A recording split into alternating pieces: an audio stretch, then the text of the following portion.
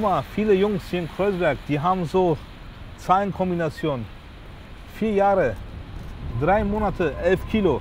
Du sagst so, vier Jahre, drei Monate, elf Kilo, was ist das? Ich kenne dich. Guck mal, ich kann dir mal kurz Erklärung machen. Das ist so, viele Jungs, woanders, viele Jungs gehen in die Schule.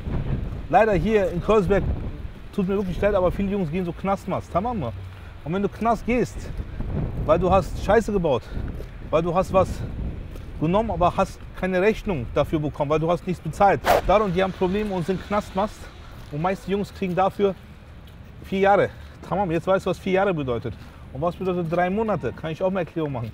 Guck mal, drei Monate ist so, nach vier Jahren, du hast keine Scheiße gebaut, dann du kriegst drei Monate Freigang, Jane. Das bedeutet drei Monate. Und was bedeutet elf Kilo? Das heißt ja vier Jahre, drei Monate, elf Kilo. Und elf Kilo bedeutet, du bist Knast gewesen, vier Jahre, jeden Tag Hardcore, Body, Muddy, Bizeps, Arme, Rückentraining. Tamam, du kommst raus, du bist Fond, du hast Zange kannst du nehmen und die Zange macht so. Warum? Weil findet kein Fett. Verhungert die Zange. Warum? Weil du bist aus Muskel, du bist Paket. Du kommst raus, bist ah, Pitbull von Straße. Und darum 11 Kilo. Wow, die sagen, Mann, guck mal, der hat 30 Kilo auf, abgenommen, aber 11 Kilo Muskelmasse zugenommen. Bravo.